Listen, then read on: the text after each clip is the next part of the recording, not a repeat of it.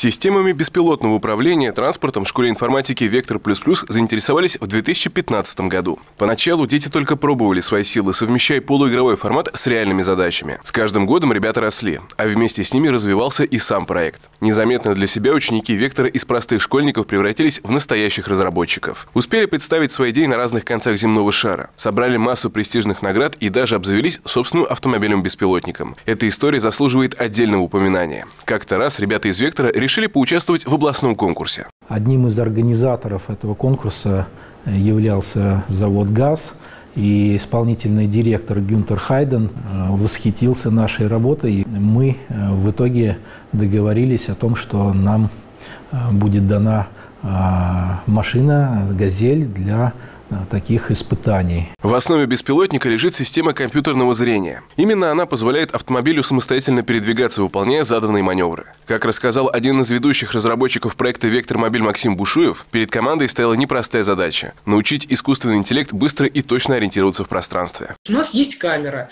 она получает видеоизображение какое-то, и вот на нем нам нужно найти какие-то объекты и определить, ну, что это за объекты. Будь то дорожные знаки, будь то пешеходы или другие водители или будь то тоже бордюр. Еще один не менее важный аспект работы касался управления транспортным средством. Не будем забывать, что в распоряжении ребят из «Вектора» был обычный автомобиль с рулевым колесом. И этот механизм тоже было необходимо как-то роботизировать, сделать автономным, независимым от человека. Совместно с э, некоторыми мастерами э, мы изготовили как раз э, устройство для манипуляции автомобилем. Я написал для него программу, чтобы оно могло взаимодействовать с компьютером, с э, алгоритмами, которые тоже были написаны. К полевым испытаниям беспилотника ученики «Вектора» приступили в августе. Автомобиль тестировали на территории технопарка «Саров», где он успешно выполнил все поставленные задачи. Провез человека, вписался в поворот и преодолел змейку. Следующий заезд проведут уже в зимних условиях. А, будем отрабатывать, как машина себя поведет на заснеженной дороге и также про видимость разметки.